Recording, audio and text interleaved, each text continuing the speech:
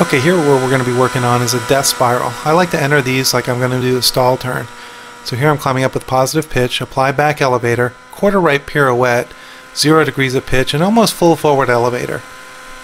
And then we're going to exit here. When you're trying these for the first time, just come out kind of high and do a couple of rotations. No reason to come out low and push it until you get proficient at doing this maneuver.